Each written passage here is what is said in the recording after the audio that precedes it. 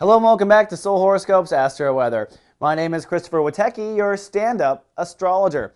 Well, it's Tuesday, May 15, 2007, and the sun's progressed to 24 degrees Taurus, and the moon today joins.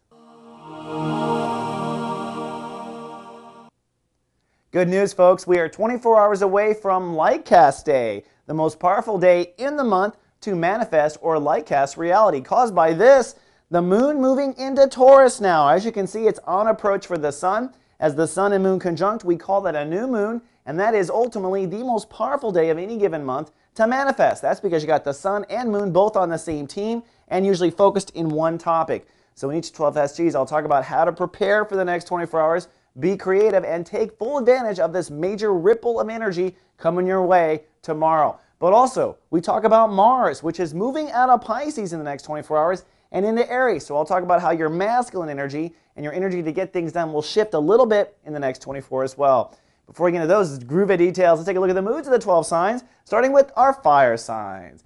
Aries, they're sunny and fertile with ideas right now. The Leos are sunny and career creative, and the Sagittariuses are sunny and super aware. Moving on now to our earth signs.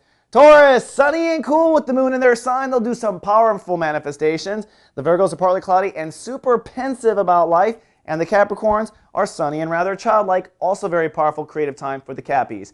Moving on now to the air, the air signs.